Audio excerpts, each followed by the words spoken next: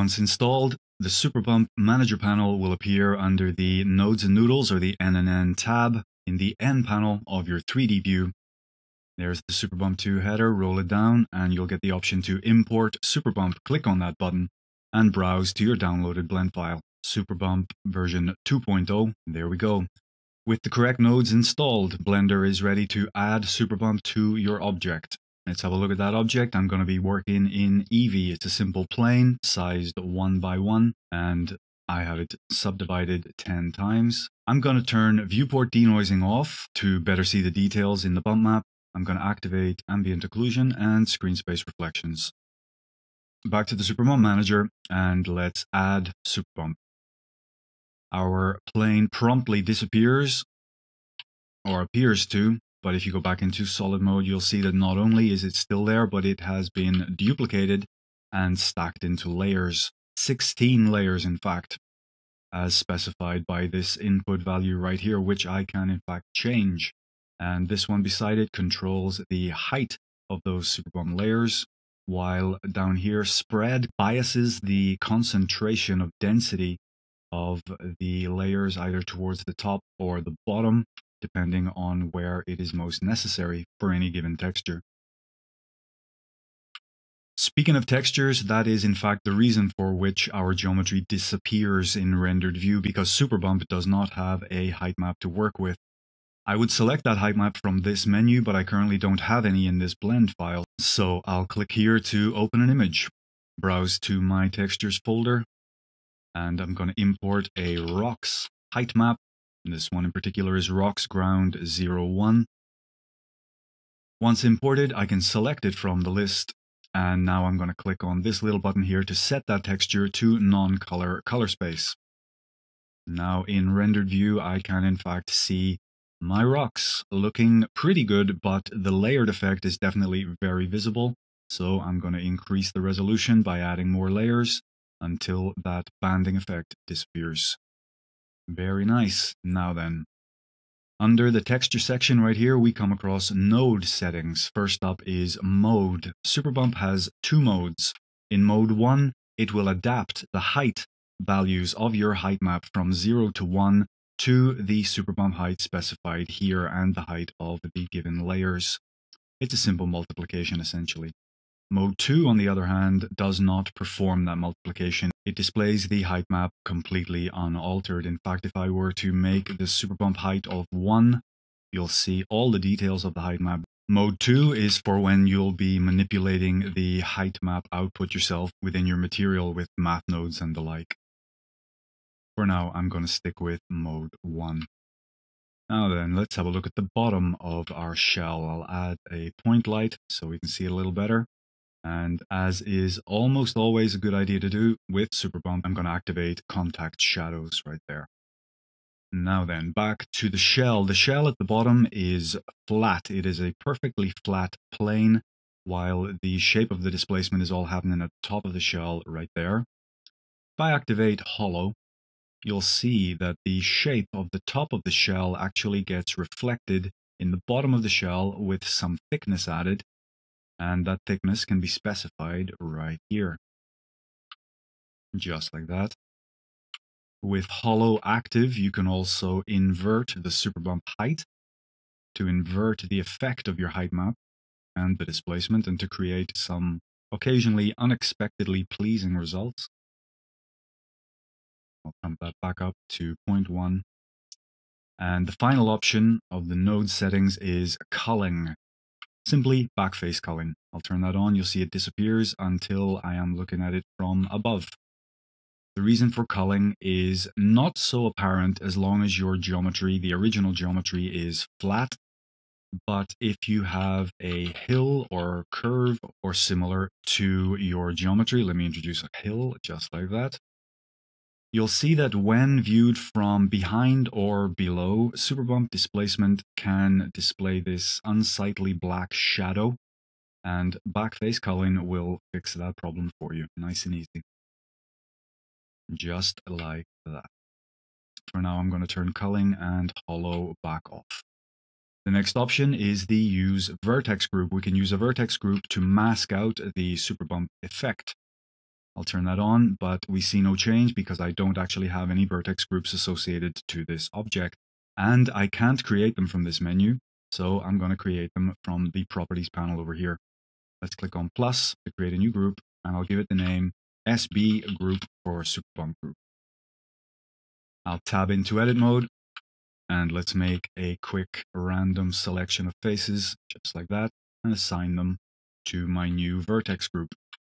Back to rendered view, and I can select that group from the menu and click on update, and you'll see that Superbump is now respecting that vertex group. I can also at this point activate the hollow function, and the areas where there is no Superbump will actually be transparent. And we also have the option to smooth the vertex group, which can produce some pretty random effects, but the modifier offers the option, so I included it in Superbump, why not?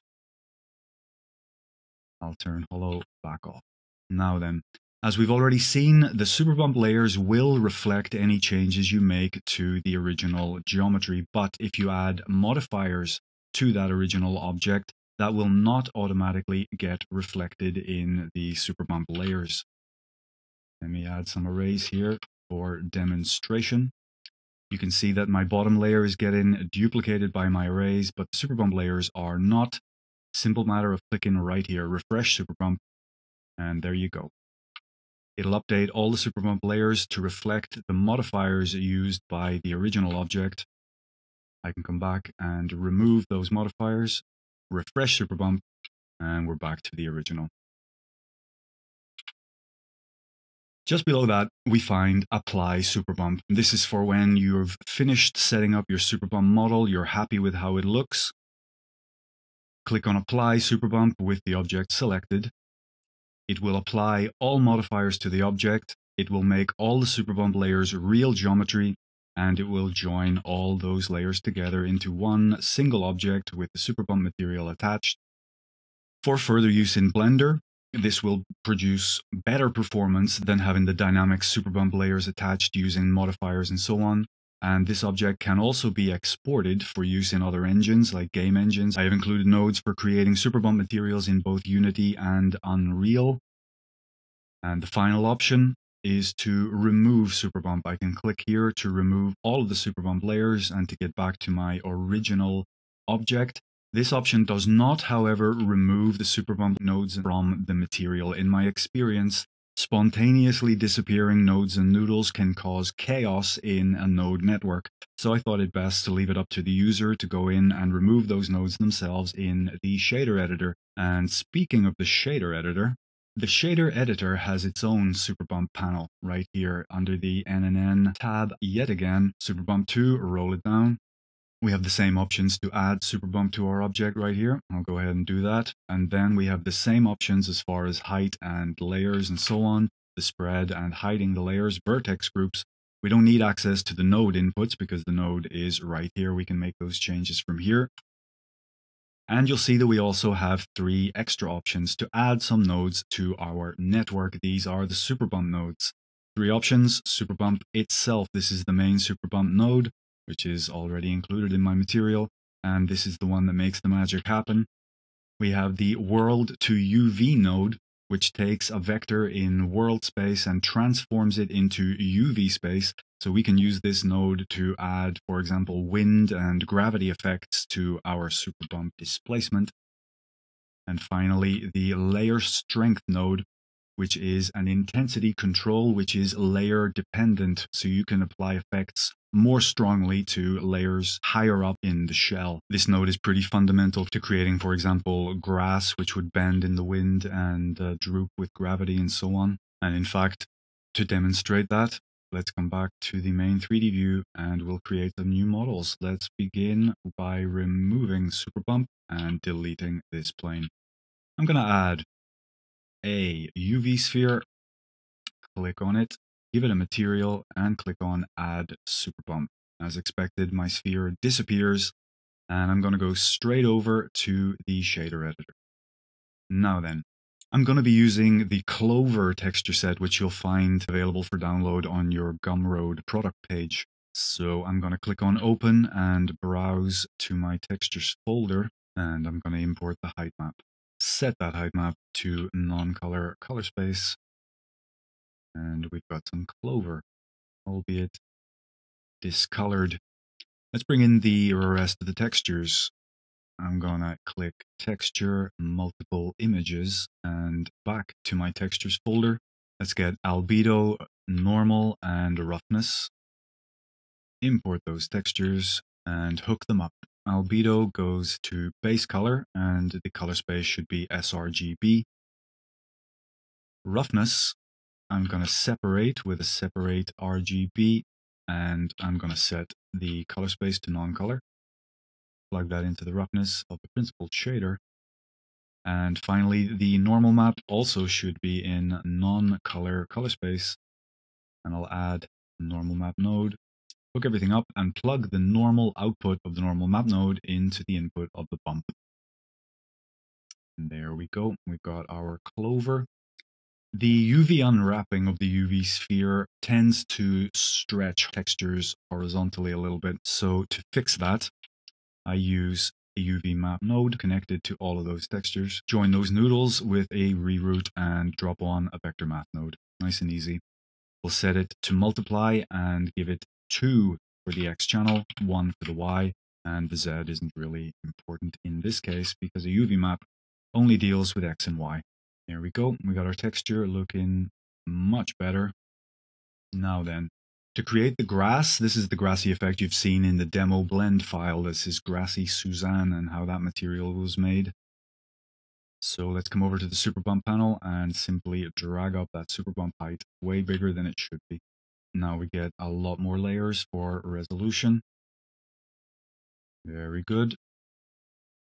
And I'm going to change the scale. I'm going to shrink this texture down quite a bit maintaining this double in figures, x must always be double y.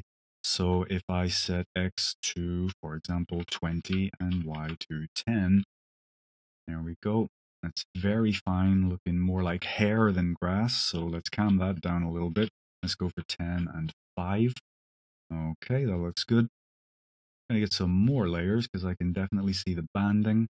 And I'm going to use the spread effect to bias the density of layers towards the top of the shell. So I'm going to drag the spread downwards. Okay. Now then, I'm going to add a gravity effect to this, whatever you want to call it, hair, grass, don't know. Don't know what it is. Let's call it grass. I've decided. There we go. Okay, I'm going to need more space here between my UV map and this multiply node let us add a world to UV node and a layer strength node. Let's bring them over here. Drop the world to UV onto the noodle coming from the UV map.